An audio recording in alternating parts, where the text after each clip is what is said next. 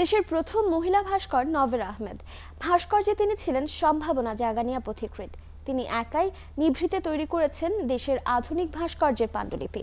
এবার এই ভ্রতচারী প্রয়াত ভাস্করকে নিয়ে বই নভেরা বিভুয়ে সভূমে। প্রকাশ করলেন কথাশিল্পী ও শিল্প সমালোচক আনা ইসলাম। দেশের প্রতি অনেকটা অভিমান করে সুদূর ফ্রান্সে পাড়ি জমান ভাস্কর নভের আহমেদ। লোকচক্ষুর অন্তরালে নিজেকে গুটিয়ে নেন এই শিল্পী। নভেরার সাথে সক্ষতা তৈরি করেন লেখক আনা ইসলাম। তার জীবনের নানা অপ্রকাশিত কথা ও তথ্য দীর্ঘদিন গবেষণা করে আনা প্রকাশ করলেন তার বই নভেরা বিভুয়ে সভূমে।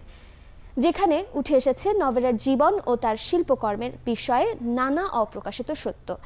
বইটি প্রকাশ করেছেন যৌথভাবে প্রকাশনা প্রতিষ্ঠান জার্নি ম্যান বুকস ও অন্য প্রকাশ। জাতীয় জাদুঘরে হয়ে গেল বইটির মোড়ক খোলার অনুষ্ঠান।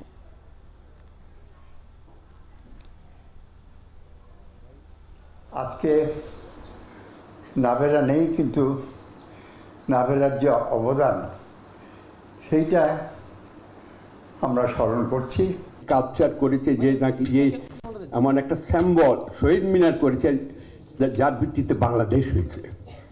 সো